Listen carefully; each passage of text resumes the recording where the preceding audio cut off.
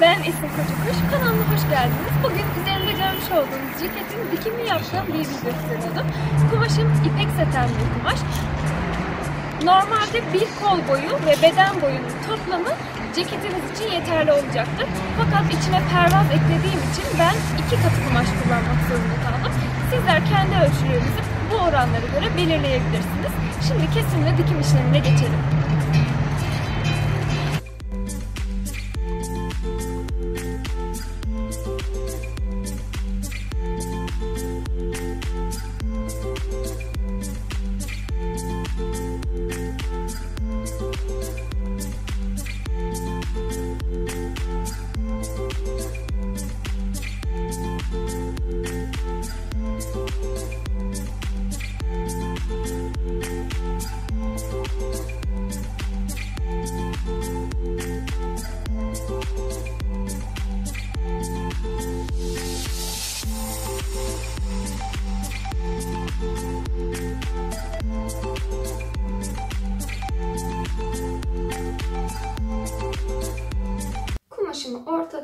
İkiye katladım. Her zaman soruyorsunuz hemen onu da göstereyim nasıl katladım. Bakın normal şekilde şurası kat açık ağız kısmı şurası da kat yeri. Burası boy kısmı burası da en kısmı. Yani kumaşı alırken buradan aşağıya doğru ölçü belirleyip kestirdiğiniz kısmı boy kısmı oluyor. Hiçbir işlem yapılmamış kısmı ise en kısmı oluyor. Kumaşımın katlaması bu kadar basit. Sadece ikiye katladım. Ekstra hiçbir uygulama yok. Şimdi basit kalıp çalıştığımız için öncelikle yaka genişliğimizin ne kadar olması gerektiğine karar vereceğiz. Ben yaka genişliğimin salaş ve kötü görüntüsü olmasını istemediğim için 7,5-8 santim bazen de 7 santim olarak belirliyorum. Kumaşım ipek saten bir kumaş. Bu yüzden 8 santim olarak belirleyeceğim. Kumaşımın cinsine göre de değişiklikler yapabiliyorum. Yakaların genişlik kısımlarında. Örneğin esneyen bir kumaşsa esneyen kumaşa daha dar yani 7 santimden bir pay belirliyorum ki esneme payı içinde olunca zaten esneyerek 8 santime 9 santime çıkabildiği için Hemen tekrar ölçüme emin olayım. Evet.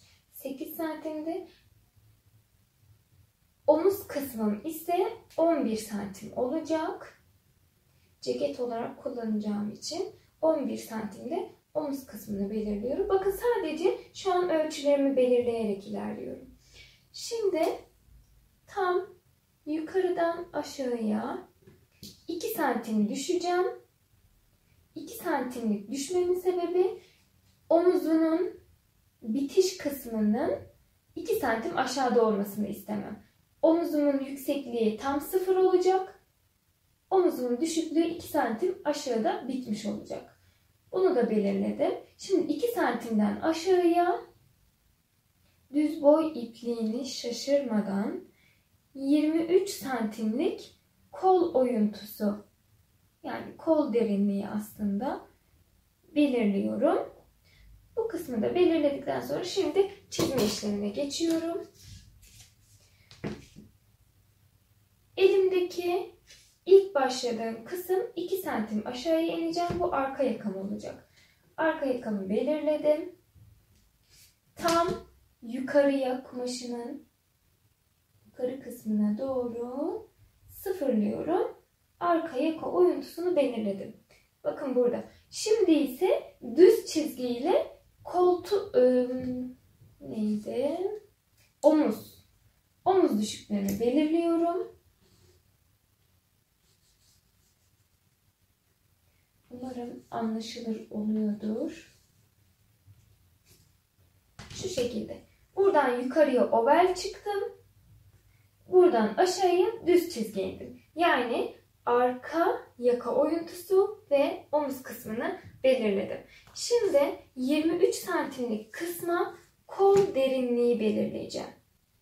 Sırt kısmı olduğu için arka yaka e, arka beden olduğu için sırt kısmının genişliğine göre ayarlamamız gerekiyor. Şu şekilde çok fazla oyuntu vermeden sırt kısmını yapıyoruz. Çünkü sırtımız göğüs kısmımızdan daha geniş. Bunu unutmuyoruz. Kaldırıyorum. Bakın buradaki çizgiyi gördünüz mü? Şu şekilde bir oyuntu belirlemiş oldum.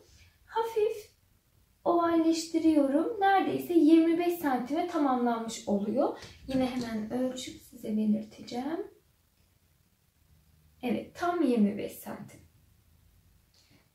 Şuradaki ovallik kısmı yuvarlandığı için 25 santime indi. Burası 23'tü. 2 santim daha aşağı indi ve 25 santimde tamamlamış olduk. Hemen genişliğinin de ne kadar olduğunu size söyleyeyim bu aşamada.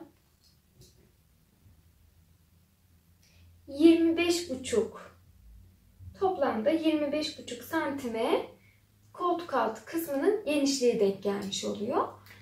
Şimdi yukarıya doğru çıkacağım. Bakın önce düz şekilde yukarı çıkacağım. Sonrasında ön kol oyuntusu derinliğini vereceğim. Yani aslında arkaya yaptığımın aynısını buraya uyguladım. Şimdi böyle göz hizama göre şuradan böyle hafif içeriye girerek hoş bir derinlik verdim. Bu kadar. Şimdi kısmı çiziyorum. Yakamın, omuzumun genişliği 11 santimde. 11 santim belirliyorum. Pervaz yapacağım. Bunu da unutmuyorum. Dikiş payı veriyorum ve dikiş payı ile birlikte 12 santime çıkarıyorum ön yakayı. Burası dikişte gidecek ve 11 santime düşecek. Evet. 11 santimi de belirledim. Hemen şuradan tekrar 2 santim aşağıya düşüyorum. Buradan omuz hizasını belirliyorum.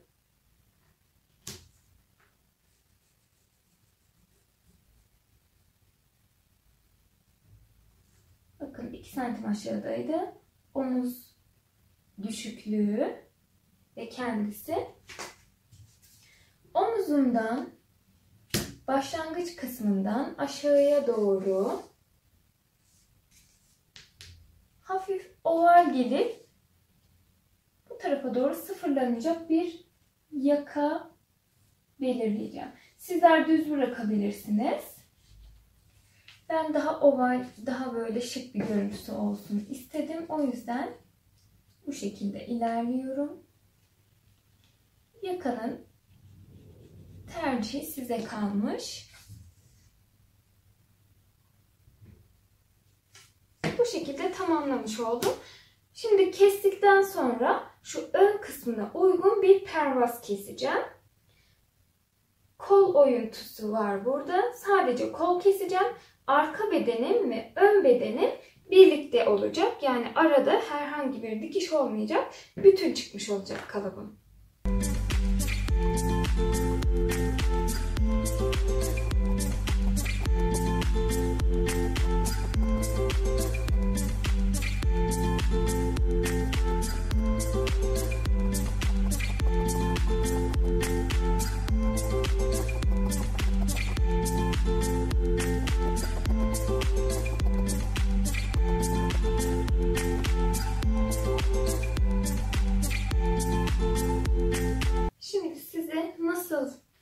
Olacağını göstermek istiyorum hemen bu kısımda. Bakın şurayı açıyorum.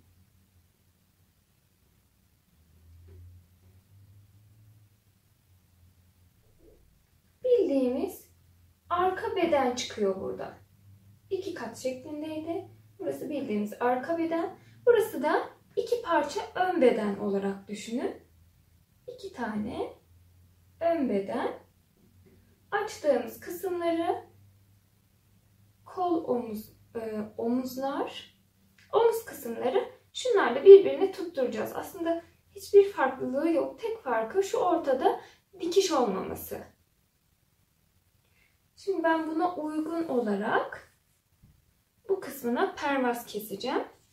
Bu arada ceketimin hemen boyunu da size söyleyeyim.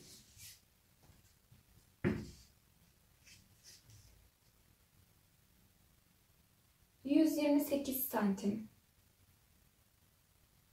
108 santim pardon. Ceketimin boyu 108 santime denk geliyor. Şurada bir parçam vardı.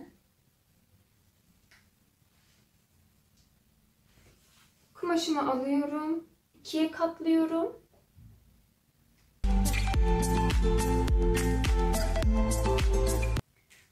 Ön beden olan kısmı düz şekilde yerleştireceğim. Bakın burada dikkat etmeniz gereken en önemli noktayı paylaşacağım hemen sizlerle. Şu şekilde yamuk koyarak çalışamayız. Tam düz hizada olması gerekiyor. Yani omuzlarım nasıldı? 2 santim aşağı düşüyordu. Düz kısmı burası çünkü kumaşın. 2 santim aşağı koydum. Bu şekilde düzenleyerek bakın görünüyor zaten şu kısmı. Şöyle göstereyim. Aynı kestiğim şekilde burası düz, burası verev geliyor. Bu şekilde yerleştirmeniz gerekiyor ki düz boy ipliği şaşırmasın. Ve düzelterek yerleştiriyorum. Etrafından aynı şekilde keseceğim. Hiçbir farkı yok. Sanki tekrardan ön beden kesiyormuşum gibi düşünün.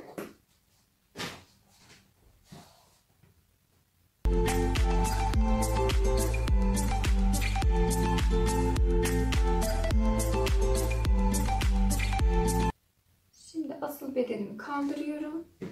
Bakın. Ön beden çıkmış gibi oldu. İki tane pervazım oldu. İlk yapacağım işlem ön kısmını yüzü yüzüne denk gelecek şekilde pervazlarımı yerleştirmek olacak. Kumaşımdaki iğneleri çıkarıyorum. Benim kumaşım aşırı kaygan, ipek saten bir kumaş olduğu için ben çok fazla iğne kullanarak yapmak zorundayım. Sizler eğer acemiyseniz hiç bu işlemlere girmeyin. Daha basit kumaşlarda daha kolay dikebileceğiniz şekilde kumaşlar tercih edin. Şu şekilde boydan boya iğneleyeceğim ki dikişim kolay olsun. Kaymasın diye. Ara ara iğneliyorum. Sonrasında bu kısımlarını overlockla temizleyerek düz dikişini yapacağım. Ön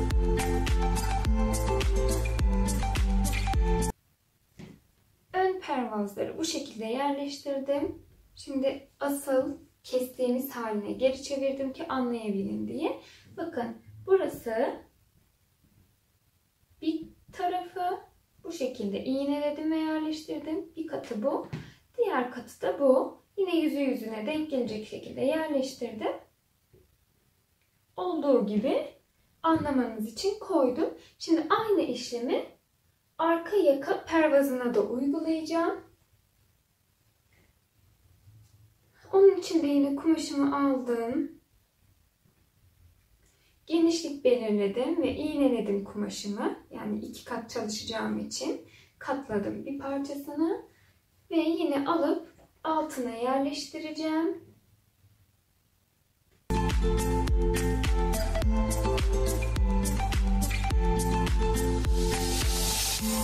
Bakın.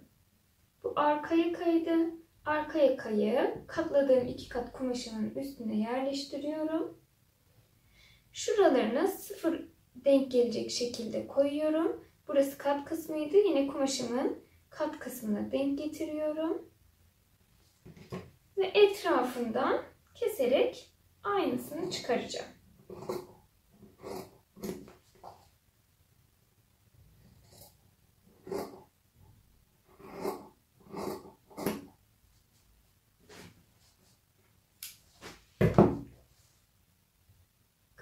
Kaldırıyorum. Ne kadar genişlik olmasını istiyorsam oradan ceket olacağı için biraz derin olursa daha güzel olur. Çünkü şu arka kısmı tamamen kapatır. Hiçbir kötü görüntü oluşmaz. Bu kısmı hafif ovalleştirerek yukarı doğru omuz bitiş kısmında kesim işlemini bitiriyorum. Şimdi hemen açıp göstereceğim nasıl bir şey olduğunu. Bakın. Sanki arka beden kesmişim gibi sadece e, iç kısmında kalacak kısmı hafif oval oldu. O da güzel bir görüntü vermek içindi zaten. Şimdi kumaşımın fazlasını hemen buradan kaldırıyorum. Ve nasıl dikeceğimi göstereceğim şimdi size. Şu kısım pervazdı. Bu kısmı açıyorum. Yaka, omuz kısımları. Kestiğim parçayı şu şekilde yüzü yüzüne denk gelecek şekilde koyup hemen kenarlarını iğneleyeceğim.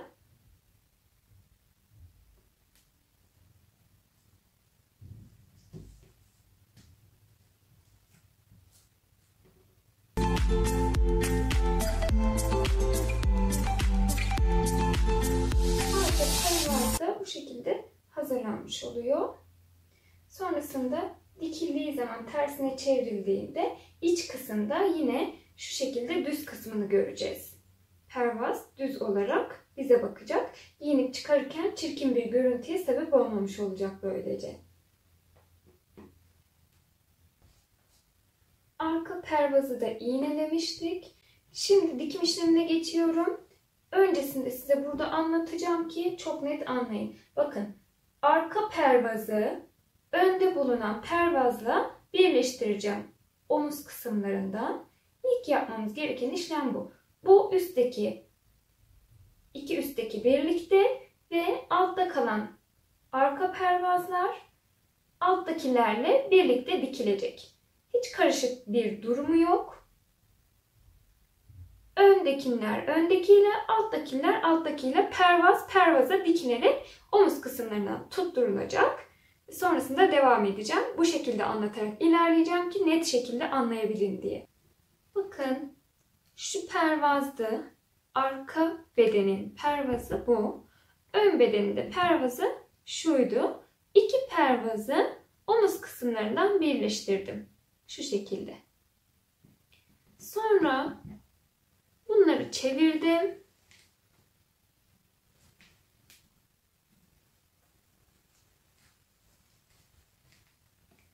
Asıl bedenime doğru yani tersine çevirdim. Başka hiçbir şey yapmadım. Bakın bütün ve asıl bedenimin de omuzlarını birleştirdim. Yani ikisi de şu şekilde sadece omuz kısımlarından birleşmiş oldu. Ben kenarlarını iğneyle tutturduğum için birbirinden ayrılmıyor. Bu şekilde daha net anlayarak dikmiş olursunuz. Siz de sizler de bu şekilde ilerleyin. Şimdi yapmam gereken tamamen ön bedenin şu kenar pervazlarının etrafından dikerek bedenin tamamını dolaşmak. dolaşmak. Bakın şu şekilde omuza doğru geleceğim. Arka bedenin yaka oyuntusunu dikeceğim ve diğer tarafa yani sol taraftan başlıyorsam sağ tarafa doğru dikişimi tamamlayarak etek ucunda bitireceğim. Bu şekilde pervaz, pervaz ve beden birbirine bütünleşmiş olacak. Şimdi ben bu dikiş işlemini gerçekleştirip geleceğim tekrar. Şuradan bu şekilde yuvarlak geleceğim. Şu şekilde kenarlarına düz dikişi geçtim. Sonrasında overlock dikişiyle temizledim. Ve bedenimi şimdi şöyle çevireceğim. İğnelerinden kurtulalım. Engel olmasınlar bize. Bakın pervaz kısmıydı. Pervazı çeviriyorum. Arka pervaz da kendiliğinden birlikte geliyor.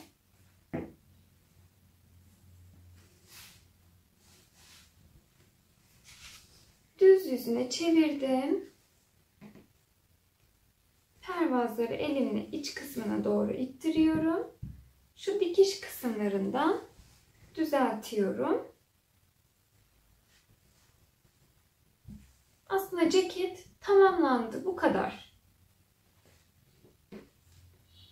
Başka hiçbir detayı, ekstrası yok. Çok daha basit şekilde dikebilirsiniz. Ben burada sizlere uzun uzun anlattığım için sanki çok detaylıymış gibi görünüyor ama çok kolay. Şimdi şu dikiş kısımları vardı ya onları düzelterek isterseniz elinizde tırnak ütüsü yapıp düzeltin öncesinde. Sonra bu kısımlarına ince bir çıma geçebilirsiniz.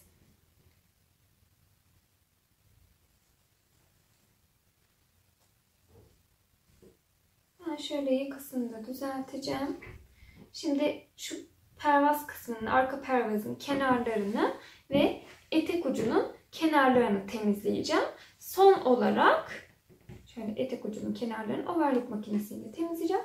Son olarak geriye kalan tek şey kol olacak. Kollarını da kesim işlemini gerçekleştirip dikimine geçerken anlatacağım sizlere tekrar detaylı olarak. Çima dikişini geçtim. Görüntüsü bu şekilde oldu ve iç kısımlarının yani pervazlarının kenarlarını temizledim. Ardından etek kısmının pervazını da temizledim. Şimdi etek ucu kısmına şu şekilde pervazı içten dışarı doğru çıkaracağım. Şuradan düz bir dikiş geçeceğim. Dikişi geçtikten sonra burada bir kısım içeri geçmiş olacak. Çevirdikten sonra kendinden kıvırma payı ortaya çıkacak ve kıvırma payının bulunduğu yerden düz dikiş geçerek etek ucunu kıvırmış olacağım. Böylece pervazın olduğu kısımda yani ön kısımlarda çok daha temiz bir dikiş elde etmiş olacağım. Yani görüntüsü şu şekilde olacak. Hiçbir dikiş belli olmamış olacak ön kısımlarda. Etek ucunu gösterdiğim gibi iç kısımdan diktim ve katladım. Sonrasında üstüne çime dikişi geçtim. Katladığım kısımda arka kısımda bir boşluk oluşuyor. Bu kendiliğinden katlanarak öne gelmiş oldu. Bunu da bakın şu şekilde sadece arkada dikiş olacak şekilde diktim. Kenar kısımlarını da elimle tel yaparak incecik kumaştan alarak ve üst kısımlarla açılmasını önlemek istedim. Bu şekilde temizledim ve ütüledim. Sadece kolları kaldı geriye. Şimdi kollarını da çok pratik bir şekilde nasıl kalıbını çıkardığımı paylaşacağım sizlerle. Öncesinde şunu belirtmek istiyorum. Bu tarz kaygan kumaşlar kullanırsanız kullanacağınız iğne markası bu olsun. Çünkü piyasada iki çeşit iğne var. Birisi çelik, birisi alüminyum karışık sanırım. Çok da emin değilim. Ama çelik olan iğneler diğer iğnelere göre yani şu marka iğneler diğer iğnelere göre çok daha kaliteli. Uçları kumaşı zedelemiyor ve batırdığınız zaman e, kumaşta iplik çekilmesi olmasına izin vermiyor. Bu yüzden biraz pahalı diğerlerine göre ama kumaşınızı zarar vermeden kullanabileceğiniz bir iğne markası. Bunu da paylaşmak istedim sizinle. Kumaşımı ortadan ikiye katladım. Şu şekilde. Ve tekrar ikiye katlıyorum. Yani dört kat kumaş elde ettim şu an. Bu arada bir şey daha paylaşmak istiyorum sizinle. Bu tarz kaygan kumaşlar kullanıyorsanız ve kesemiyorsanız, acemiyseniz yine de kullanmak istiyorsanız yapmanız gereken çok basit bir püf noktası var aslında onu da paylaşayım. Bu sefer uygulamadım ama sonraki dikimlerim, kesimlerim için uygulayabilirim. Rulet ve kesme tahtası alabilirsiniz. Kumaşınızı katlayıp iğneledikten sonra olduğu gibi yerleştirirsiniz üstüne. Kalıbınızı da ona göre kenarlarından keserek çıkarırsınız. Kumaş hiç oynamaz. Böylece kayma, bozulma da olmaz. Bir diğer püf noktasıydı. Şimdi kumaşımın kol kısmı, e, bedenimin kol kısmı alıyorum. Genişliğini şu şekilde ayarlıyorum. Burada amaç aslında kol oyuntusunun derinliğini ölçmek. Daha farklı bir şey yapmak istemiyorum. Sadece derinliğini alıp göz hizasıyla aslında düzenleyerek kol kalıbımı çıkaracağım.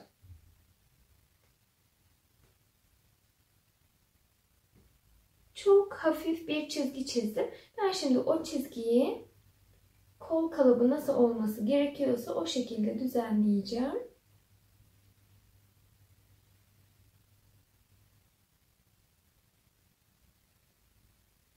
Daha net şekilde görmenizi sağlamaya çalışıyorum. Şu şekilde bakın ovallik vererek indim ve sadece genişliğini aldım aslında. Bu benim tam kolumun ölçüsünde. Bileğimi de ceket olduğu için biraz geniş yapacağım. Normalde 11 santim bana yetiyor ama ceket olduğu için 12 olarak belirleyeceğim. Hatta 12 buçuk. Şuradan düz bir çizgi çekeceğim. Yine onu gözümle hizalayarak düzenleyeceğim. Çok fazla geniş olmasını istemediğim için.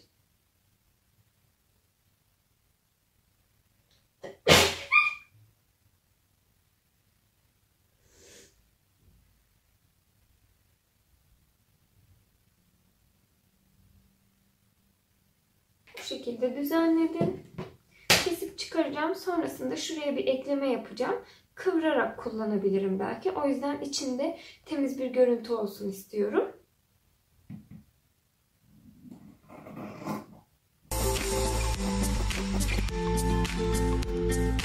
Bu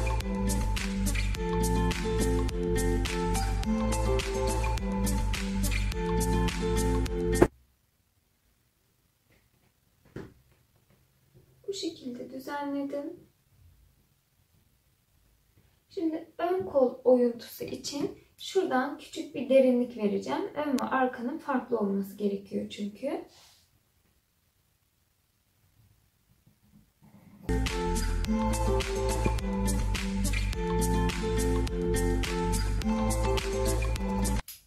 Fazlalığını çıkarttım. Bu tarafın ön olduğunu belli etmek için artı işareti koyuyorum.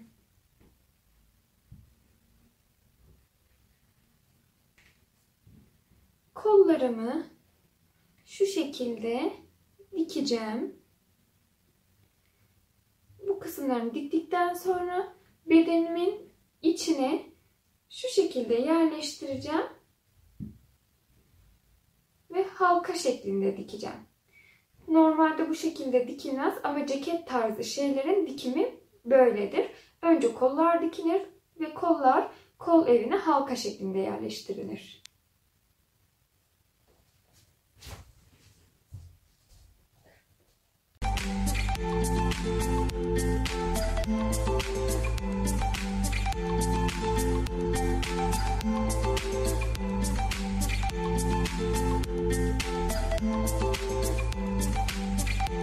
Thank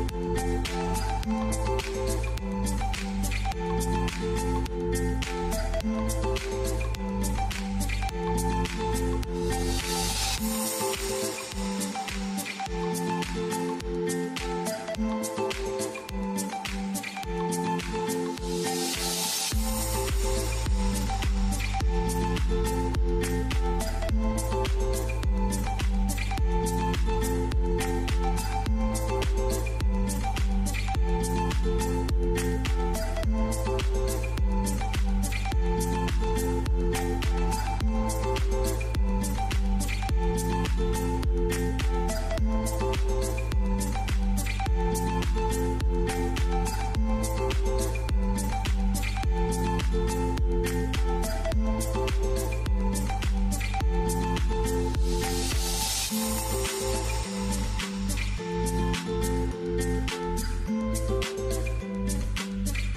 Videomu beğendiyseniz beğenmeyi, kanalıma abone değilseniz abone olmayı ve tüm videolarımdan anında haberdar olmak için zil işaretini açmayı unutmayın.